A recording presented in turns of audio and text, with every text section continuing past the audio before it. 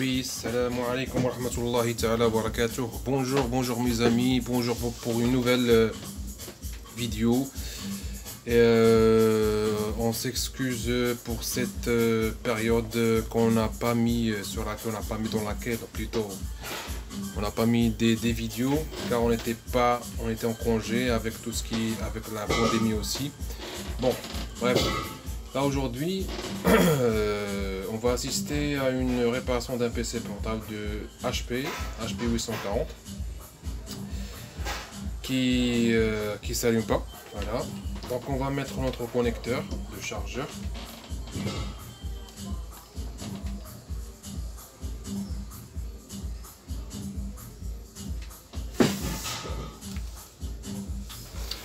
Alors la première remarque c'est que dès que je mets le connecteur chargeur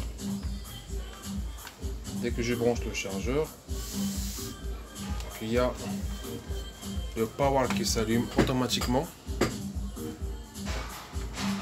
il n'y a plus d'affichage mais j'ai fait une petite remarque c'est que normalement il y a un petit voyou là qui s'allume pas. Ça, c'est un truc qui est bizarre.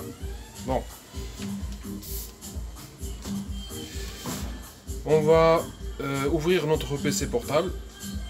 Bien sûr, on va mettre, euh, on va faire nos mesures et on verra ce que ça va donner.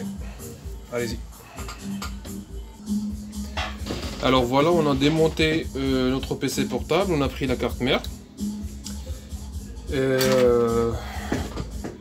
Comme vous constatez là. On met le dès qu'on met le connecteur, il y a il y a le power qui s'allume automatiquement. Voilà. Et on voit que le processeur il, il s'échauffe pas. Donc là il y a un problème. Alors pour savoir d'où vient le problème, on va faire une petite révision du fonctionnement de, la carte mère, c'est-à-dire dès, euh, dès qu'on qu met le connecteur, le principe de fonctionnement, le principe de, schéma plutôt. Je vais vous donner une, un résumé rapide. Donc, euh, donc dès qu'on met le connecteur ici, ça veut dire qu'on donne la carte mère, on donne le ton sur la carte mère. Le courant V ici, il traverse bien sûr des régulateurs qui sont des transistors MOSFET. Il va sur le, circuit de charge. Et le circuit d'alimentation. Le circuit d'alimentation communique avec le circuit de charge.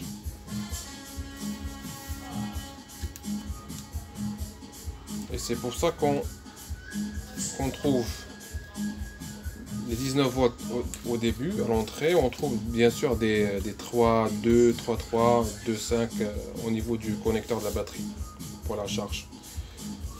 Donc dès qu'on alimente la, carte mère, il y a la communication entre le circuit de charge et, et euh, la communication avec le contrôleur, avec le Super IO avec le chipset et avec le BIOS. Et après, la communication avec le processeur. Donc, je récapitule. Donc, le circuit d'alimentation. Dans le signal au circuit de charge, le circuit de charge il dit que voilà l'alimentation elle est bonne au niveau de la batterie ça veut dire que le circuit primaire, il est bon, il est opérationnel. Voilà. Et après, euh, l'information vient, vient au contrôleur qui est là. Et le contrôleur dit au super IO qui est là. Super IO, c'est-à-dire euh, le circuit de input output c'est bien sûr il y a un programme là dedans et le circuit il communique avec le BIOS qui est là et communique aussi avec le chipset. Dès qu'il reçoit le super IO, dès qu'il reçoit l'information que tout est bon au niveau du, périphérique, il reçoit l'information à partir du chipset. Il dit au BIOS, voilà, tout est bon, donne, tu peux, tu peux donner le signal au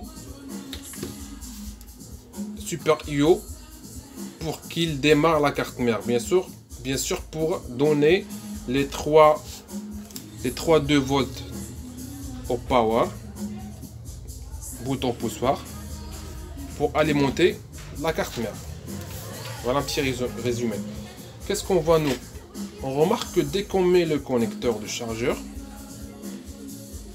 directement il y a, la, il y a, le power qui s'allume. Ça veut dire qu'on a appuyé, on a démarré la carte mère directement.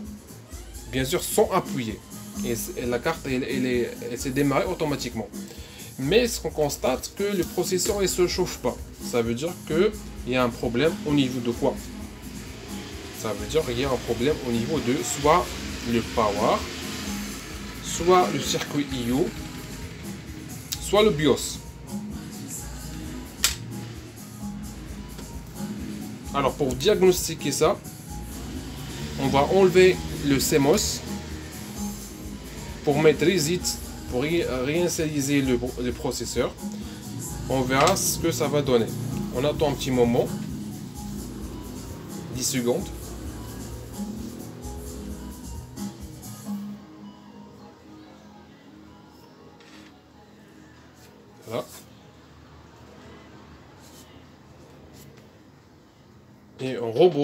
Le connecteur. Top. Il y a toujours le même problème. Même si on a réinitialisé le, le BIOS, pourquoi il y a le même problème? Parce que le processeur il se chauffe pas. Normalement, si on débranche euh, le CMOS, le CMOS pardon, c'est normal que des fois il y a la carte mère qui est normalement, la carte mère, elle, euh, démarre euh, automatiquement. Et dès qu'on reprogramme le BIOS et on remet, on remet le CMOS avec la batterie,